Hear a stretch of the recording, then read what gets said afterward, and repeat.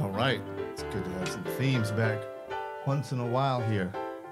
Hello again. This is Ben Hitchcock Cross talking to you. I got the cans on because we're going to listen to um, the hot mic conversation. I'm going to react to it as if I hadn't heard it 30 times before.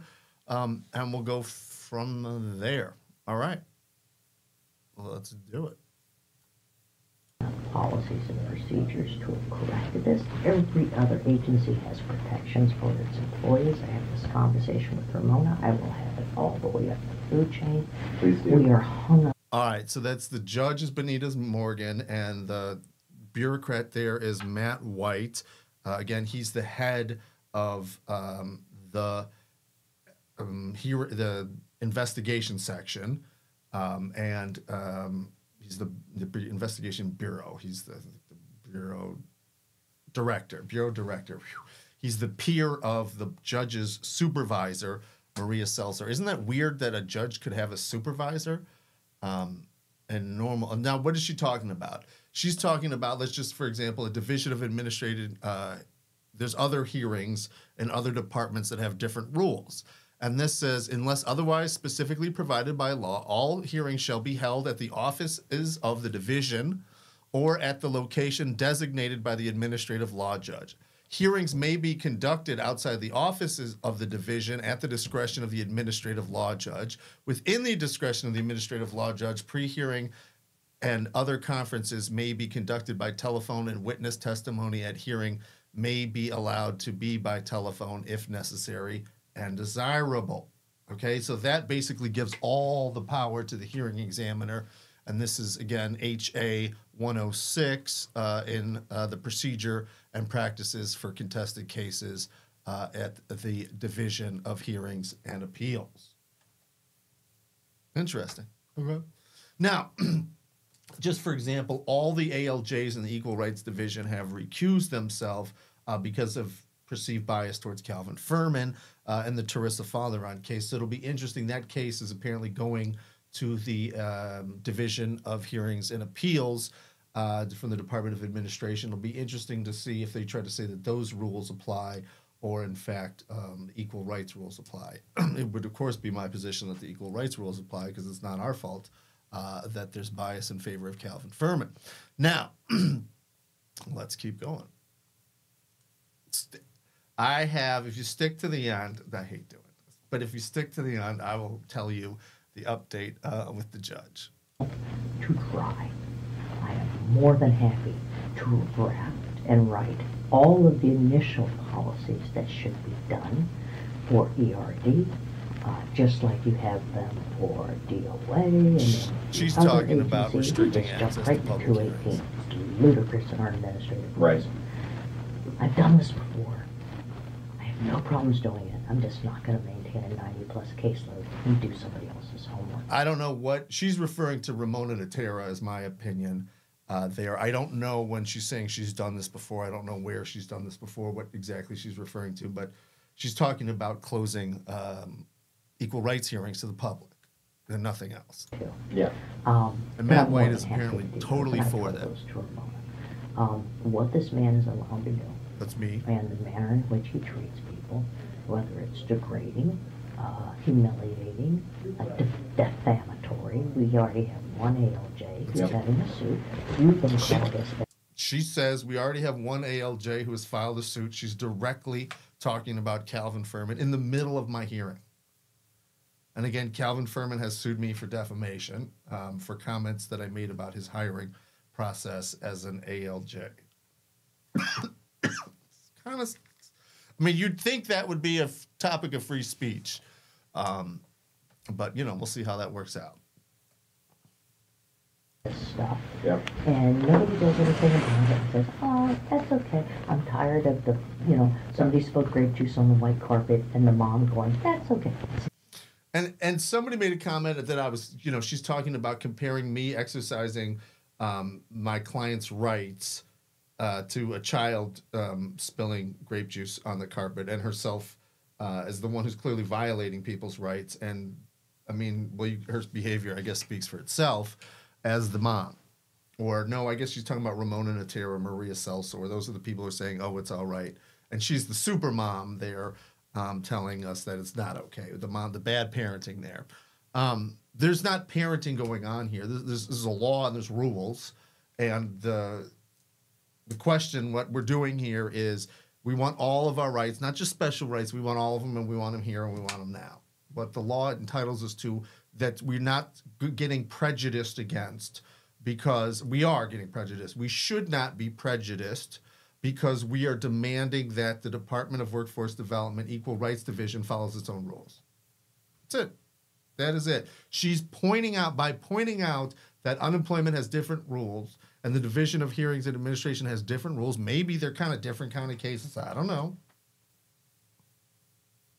That those rules that we should be punished and it's outrageous and her agency has held her out to dry because it's expecting her to follow the rules.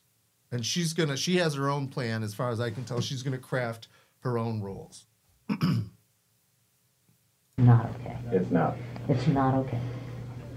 I, no one has the right to harass somebody else in the, in the, in the purview of their employment. That's what the administrative law judge for the Department of Workforce Development Equal Rights Division, whose job it is to enforce the Wisconsin Fair Employment Law, which prohibits sexual harassment in the workplace, for example. That's what she's going to talk about, and she's going to focus, I think, on her perceive my her perceive perception of my conduct towards the people who answer the phones. And that's what this agency has allowed him to repeatedly harass people who answer the phones, people who supervise others who just are trying to file their a complaint yeah. and file their jobs. So I, I, it's a problem with these vague um, accusations. I just don't have any idea. It's impossible to respond to the people who answer the phones. Um,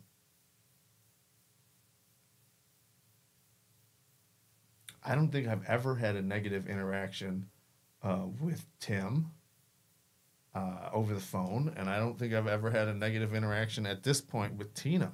So I don't know and I still don't understand. I mean, I, I don't I don't know what that's the problem here. You just you want to be nice, and it's the vague accusation. Just you just got to try to respond. But okay, um, okay. Like some more information? Happy to change. it's never my intention. Let's be we that we can be clear on uh, to give anybody any worker a hard time uh, supervisors, that's a different story. So let's go into that comment there. I kind of think she's talking about Maria Selsor, and that she's being harassed merely because she's being super. She's supervising here. Let's we, let's try to listen to it again.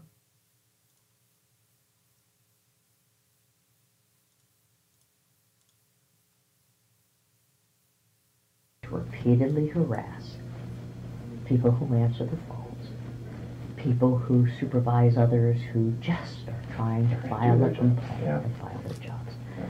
Okay, and I'm not And, sure uh, because Matt White interrupts, but she says people who are just trying to supervise people are just trying to file a complaint. I don't know what that means. Um, I, I suspect again she's talking about her boss Maria Selsor, um, but I'm not sure. And again, if somebody can show me something differently, some behavior on my part that they're objecting to, other than me making them follow the, or really demanding they follow their own rules, um, I'm more than happy to take in that feedback. Um, I have a very thick skin. I've dealt with bullies. I could have him for breakfast and, and still have room for lunch. Um, he's picked the wrong person to deal with, and he knows that. Um, so I have no problems having cases with him. That's why I told him, just give it to me. I'll deal with the bully. Yeah. He's not going to run over the top of me. Okay, let's quote that again. Um,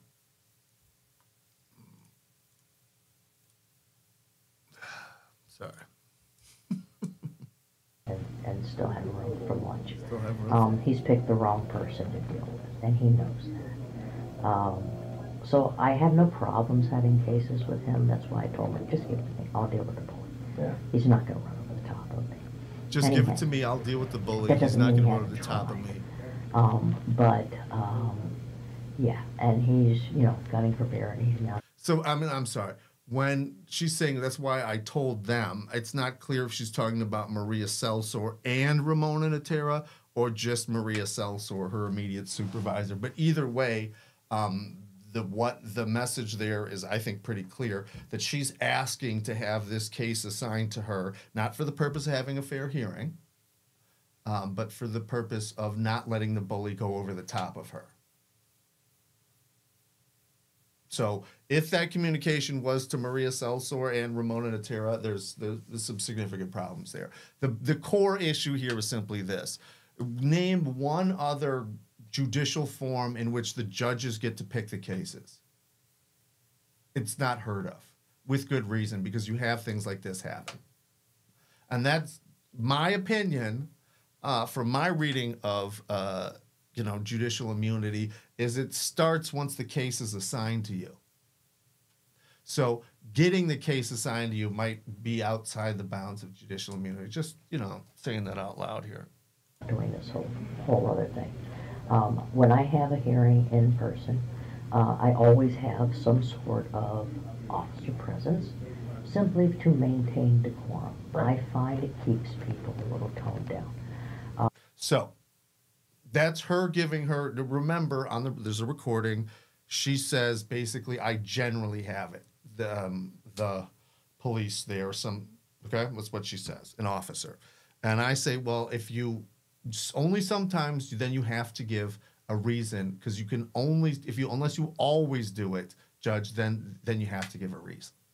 So then it shifted, uh, in my opinion, the story to I always have an officer here. And I think this is her trying to just put that story out a little bit more, is what I'm getting uh, from that there. Um, it maybe we have not been able to verify. I will be 100% uh, transparent about that. I do not have any information if she always or always does not. I just suspect she does not, uh, but just that. Um, but we still need to keep in mind that it is uh, there's another fact out there. The last conversation that we had uh, was me saying that I think thought that it was she could did not have the legal authority to prevent us from recording, and um, she very loudly suggested that she did, and um, we would see about that or something along those lines. Um, so that's why there was there's no. It wasn't just as if we showed up and the police were there there there was clearly some communication specifically about the recording, and um, so I think I think that the police were there for two reasons. Um, I think there's at least two things that are going on. Number one, the judge and the recordings. I I do think that that was an independent thing. But we also know that they were there to keep me from the subpoenaed witness uh, Secretary Pechacek. Let's this cannot be underscored enough, and we'll get into this shortly because it come up. The Secretary of the Department of Workforce Development used to be the Deputy Secretary at the Department of Corrections, and she was the supervisor of the investigation, uh, the internal affairs, who did the investigation in the case that we're talking about. That's why she's a subpoenaed witness in the case, uh, the, the hearing. And yet, there's on this recording, there's going to be talk about how they're actively, the judge and Matt White and others at the department are actively working on keeping uh, the subpoenaed witness out of the hearing. Um, so, but once again, he did it on Monday, he did it again today. He immediately comes in and starts screaming and, and yelling at, at Olmstead. I mean, I think we've got enough of that recorded that um, and I don't need to defend, like, but I think the the recordings speak for themselves about who's yelling and who's not. I think that's the fairest way to I'll put it. And calling her a liar and this and that and false this. I mean, his his briefs I, th- with, with, with lies. I, I think it's a false statement to say that I called Andrea Olmstead a liar, that I said she was a liar. I think that's a false statement.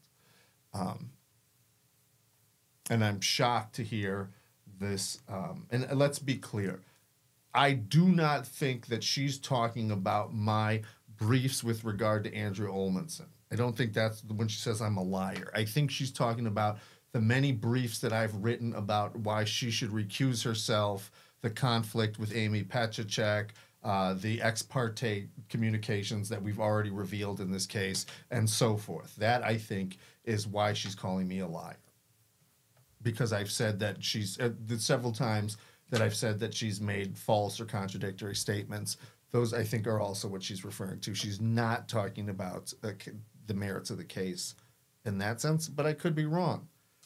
Th- That was the wrong choice. I totally take that back. She's not talking about the respondent. She's talking about the merits and the bias of the case, no doubt about it.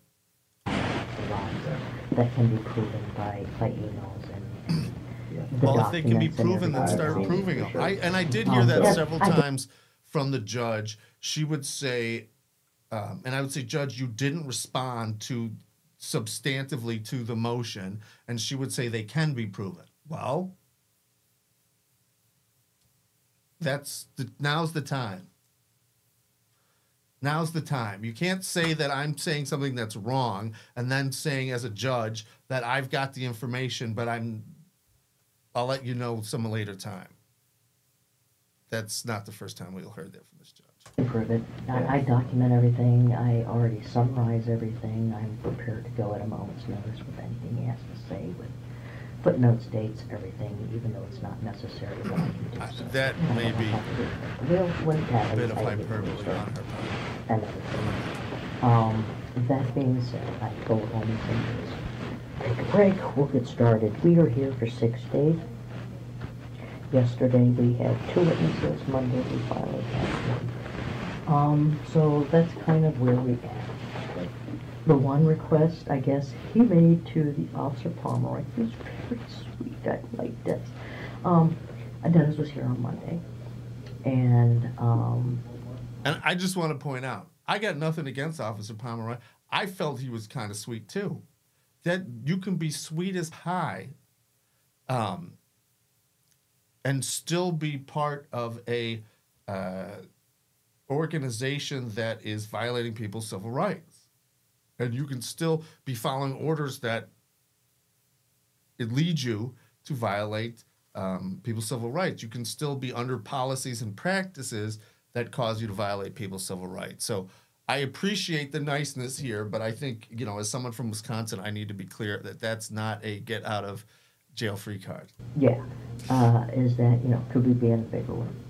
As I explained, I don't develop the rooms, I don't know where the rooms are. This is my third time in this building.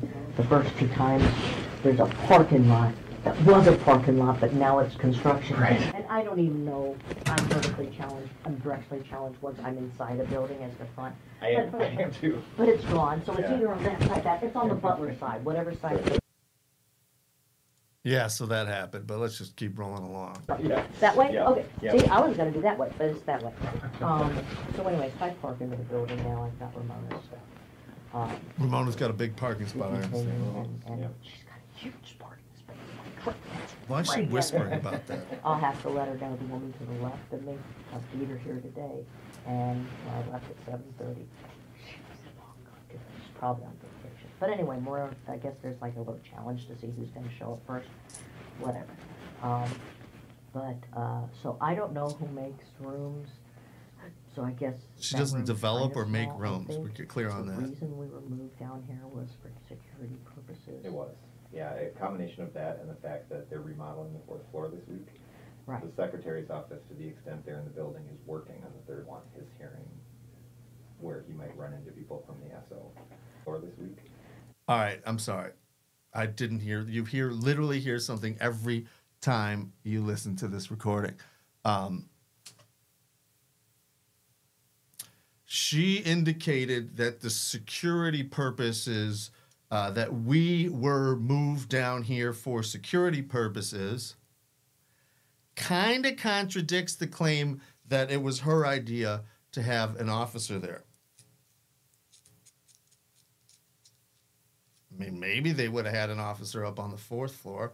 See, that actually no, because I've got Officer Pomeroy telling me that he expected to be up on the third floor, but and sat up on the third floor for quite some time before understanding that he was moved down there.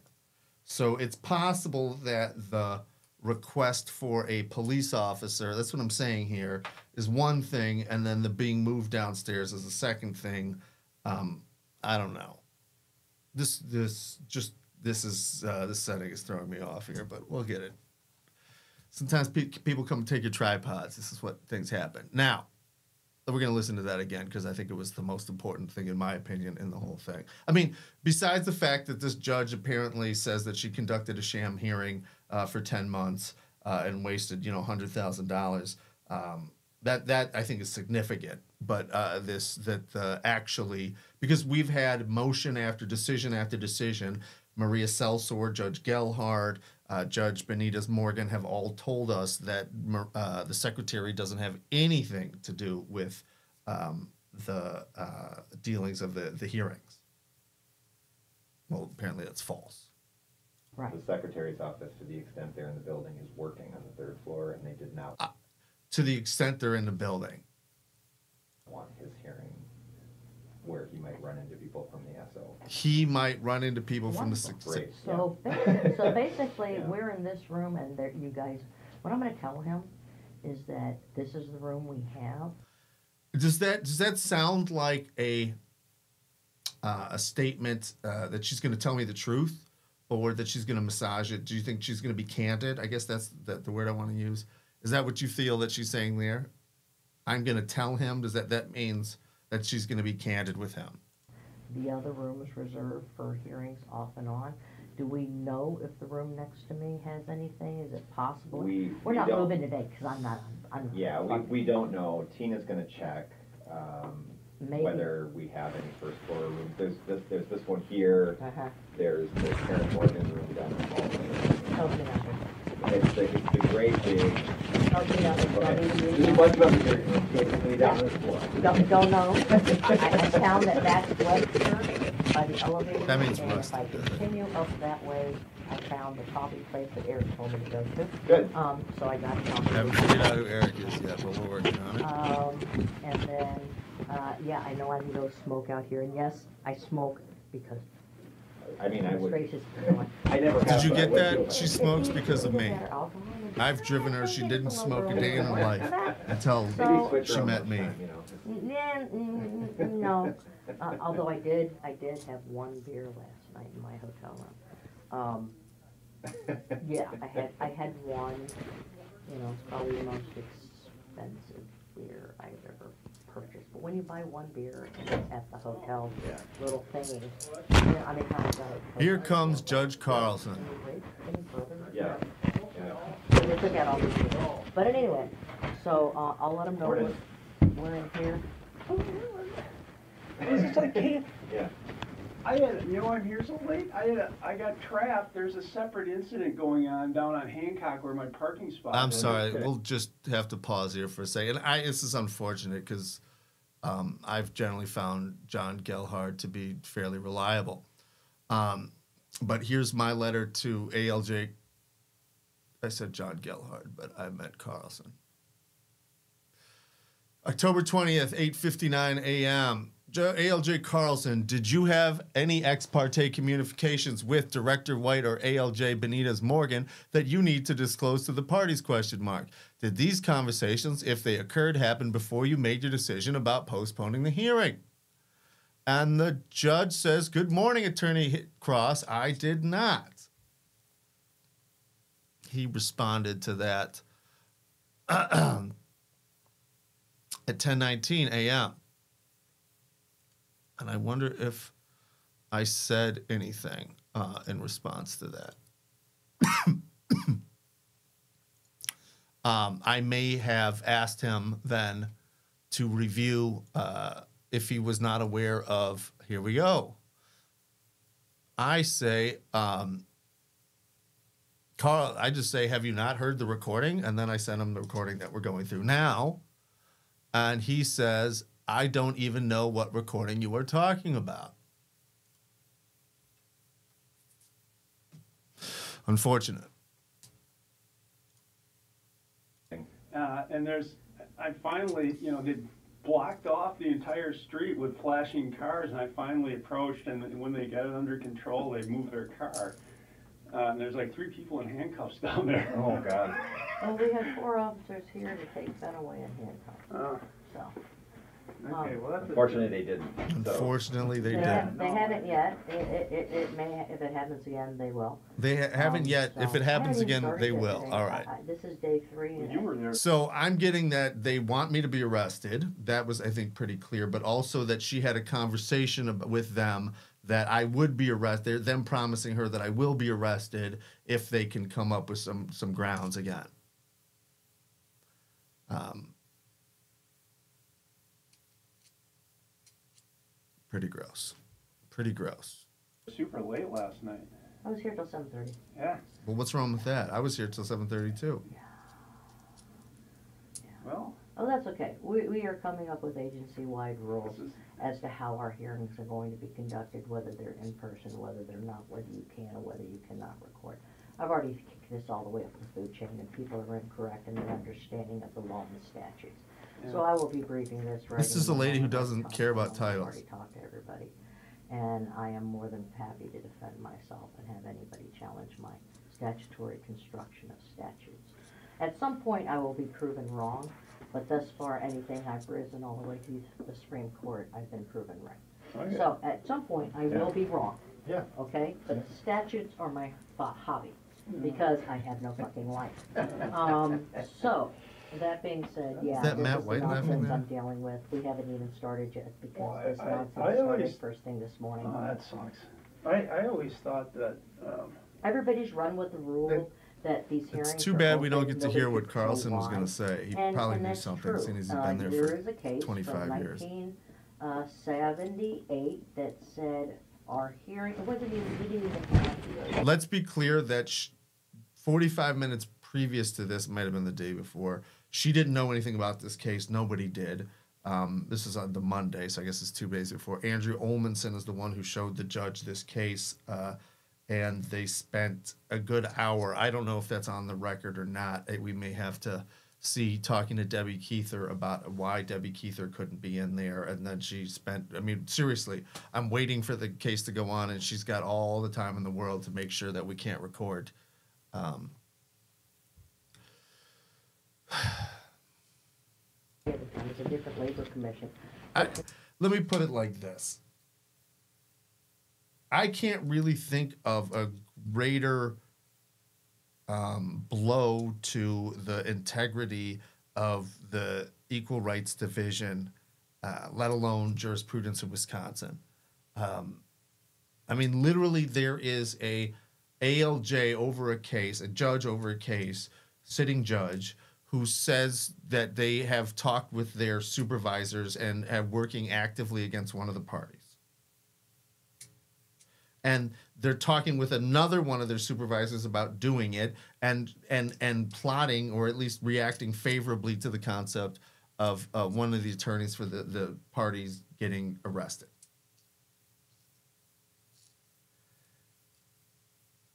And how, let's put it like this: How could we trust? Well, we'll keep going. The statute, two twenty-seven at that point, read that the hearings were fair, public, uh, fair and, and unbiased and open to the public. Unfortunately, two twenty-seven was revised, okay. and, um, for some reason, the legislature took it upon themselves to remove the words open to the public. Okay. Okay, so you can't That's run with White something that laughing in the doesn't background. That's- statutorily. Yeah. Further, these do not qualify Carlson doesn't seem to have much faith in what she's saying. Um, because we're I don't not have any a f- problem with meeting. Carlson's We are not behavior here. He just should have establishing disclosed the rules. We haven't conversation. sent public notice out for people to review. I'm listening to Yeah. it, just so you know he's Yeah. Yeah, from, from the rules. Well, of course I'm and those peeking in. sorts of things. Right. So That's just not how that works. I mean, Um, kind of sounds like let's end this conversation here. But It's just because, it, nobody could ever explain me why I've been I- I- asking this since October of twenty-two. That's just kinda how we've always run. That's great, but laws change, rules change, things change, times change. Yeah. and, and that's how we do it. So I'll let them we're gonna look for another room for day A, we're in here, uh, because of the construction on the other floors, it may not be possible. Well, But Rowan it- is calling, so let me. Oh, yeah, and I I'm- will- Uh, that, that panic button will summon the Capitol Police. again. I didn't hear what, what you Because said of there. construction on the other floors, it may not be possible. Well, But everyone it- is calling, so let me answer. Oh, yeah. I I said no one is calling Uh, me. that- They weren't anywhere today, they were in here. Uh, Because of the construction on the other floors, it may not be possible. Well, But everyone it- is calling, so let me answer. Oh, yeah, that, and I I'm- will- Uh, that, that panic button will summon the Capitol Police again if you need them, so. Excellent. So, all right, so, okay, well, hopefully we'll have something else by Friday.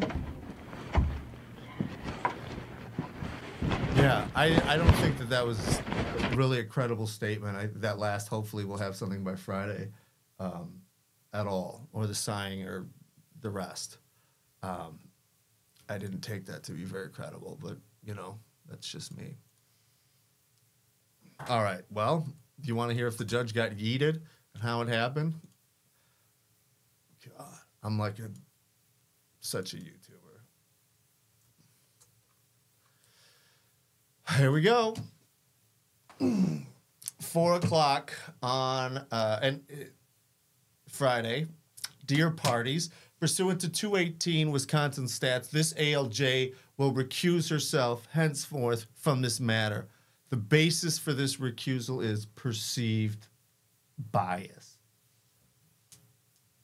That's pretty um, I immediately and so first of all, she's got to file a motion. It has to be formal, like she required of all of us. Uh, that's what the law says that it needs to be on a mo- on the judge's motion.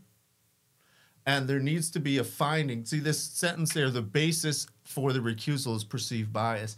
That's not clear. Is it for the fact that she says drama, drama, drama when Andrea Olmanson is calling the police? Is it for her, you know, act calling me a liar? Is it that that's the fact that you got caught doing that? Is it because of the hot mic? What's the perception of bias here? Why are people perceiving you to be biased? That may be right, that may be wrong.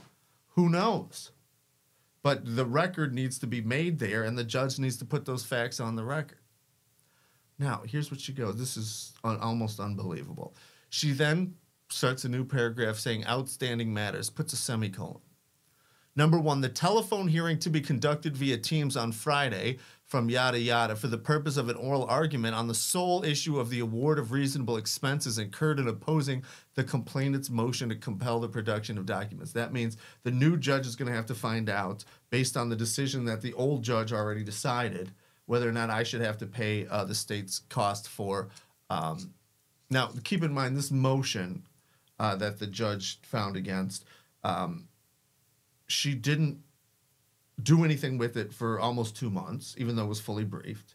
She did, though, the complainant, fi- the respondent, the employer filed two more briefs, and she did do everything in her power to try to get us to respond to those, even though after the deadline was off. So she, again, one treatment for the respondent for the state of Wisconsin, another set of rules for the worker. Um, pretty uniformly the case, and I think you'll see that if you watch the hearing. Um, that was filed on this matter on August 8th is hereby canceled. Oh, dang it. The telephone hearing will be rescheduled by the new ALJ assigned to this matter as the hearing to determine reasonable expenses is required by the statute. Do you see what's happening there? This judge said that base I'm recuse myself henceforth. But she's continuing to try to make decisions about the case, let alone the fact that she's admitted now in the record that she accepted the case for the pure point of showing that I couldn't get over her. The complainant still has until November 2nd by four. You, you're going to love this one to uh, file her motion in opposition to the respondent's motion for sanction stemming from the complainant's oral motion of October 8th, 2024. Guess what? The judge didn't record a large portion of Tuesday night. So we don't have that available. So that's lost forever, uh, which I think is some of the most important testimony in the whole case. Shocker, shocker, shocker. So the judge and her boss, Maria Selsor, and probably Ramona Otero, all got together and you know worked on a draft to keep us from recording had Capitol Police there to keep us from recording, stopped the hearing to keep us from recording, and they why? Because they're gonna record. The quote is the root reason is because the judge's recording is the sole record. So therefore, we can't have any other recordings. Unbelievable. The continuing dates for the hearing will be calendared by the newly assigned ALJ. How does she know that? How what position is she in to decide anything? The newly assigned ALJ will incorporate his or her award into the 804 12C motions, as well as any award of costs and expenses related to the 12 227483 motions. And his or her final decisions on the merits. How the hell does she know any of that? It's because they assigned it instantaneously to Stephanie Brown. Doesn't it seem like they had a conversation with Stephanie Brown already? I'm sure we're going to get into all of that. I first of all, my position is th- the person who assigned this case to ALJ Benitez Morgan for the purposes of showing that ALJ Benitez Morgan could not be gotten by me and that she could handle the bully, that is me. That person should no longer be in the position in the state of Wisconsin of assigning cases at the Equal Rights Division to anybody. Period. The end. Um, and that she's proven herself to be biased in this case. Period. The end. And we won't even start on uh, Stephanie Brown, uh, although we do have um, several good uh, videos on her at the um,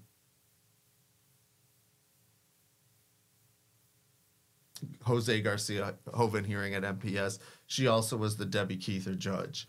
Um, so yeah, no, we have uh, this is problematic to say the least. They haven't responded on this on the, those objections in any way, and uh, I'm assuming their plan is to try to make this go into the memory hole to the distant future, um, and we'll go from there. So. Um, something's got to be done. We need reformation at uh, the Department of Workforce Development. They need to the um, they cannot assign cases anymore. It needs to be random. That's that's all there is to it. Um, hearings need to be recorded by anybody who wants to record them, and they need to be open to the public, and that needs to be clear, and it needs to be written, and that needs to happen as soon as possible. I also, frankly, believe that there may need to be some consequences here.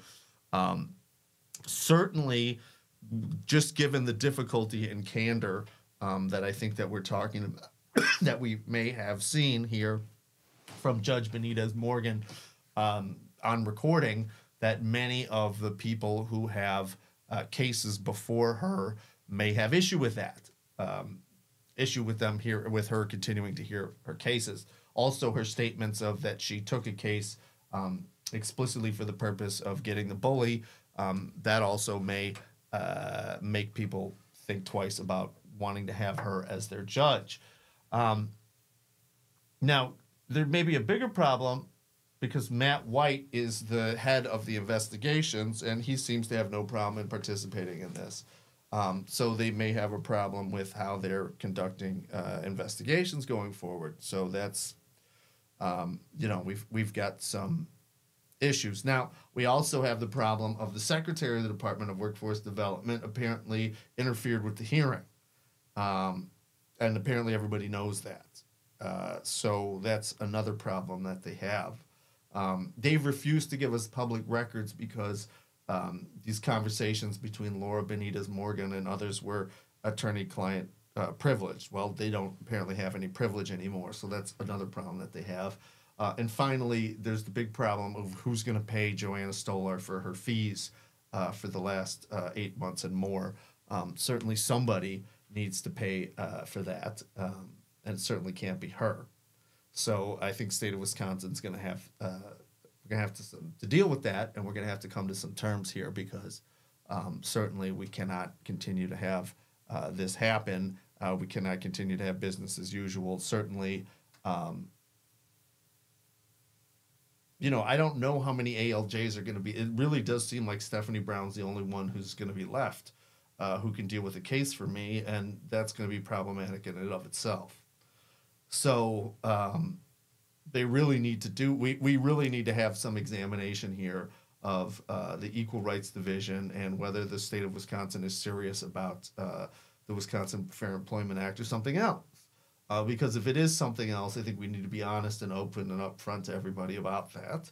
And I also think that regardless of what happens, um, it should never again, we should never ever have a hearing like the one that we had in Madison at the beginning of the month.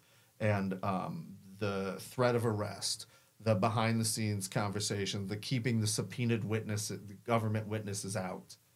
I mean, that's